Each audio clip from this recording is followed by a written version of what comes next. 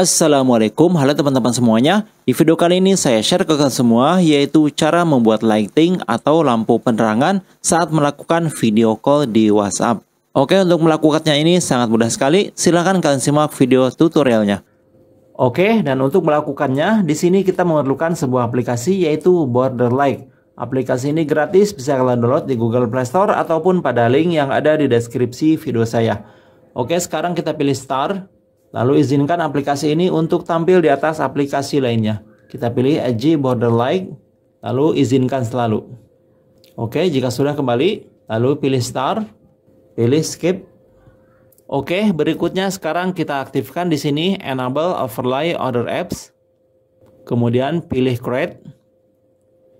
Nah, sekarang di sini kita buat Add Theme. Pilih nama tema, bebas ya. Jika sudah, kemudian sekarang untuk warnanya ini kita ganti semuanya menjadi putih. Ya, di sini posisinya di tengah-tengah ya. Jadi sudah putih, kita pilih saja di sini. Nah, sekarang untuk warna lainnya kita ganti. Jika sudah, kemudian untuk ketebalannya kita atur.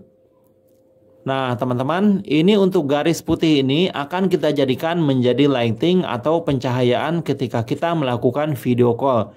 Jadi semakin tebal tentu saja akan semakin terang tergantung dari tingkat kegelapannya ya. Kemudian untuk bentuk bagian atas dan bagian bawah kita rapikan, radius topnya kita atur seperti ini. Begitupun untuk radius bottom. Ya, jika sudah lalu pilih create. Kemudian jika sudah kita kembali lalu pilih enable overlay other apps.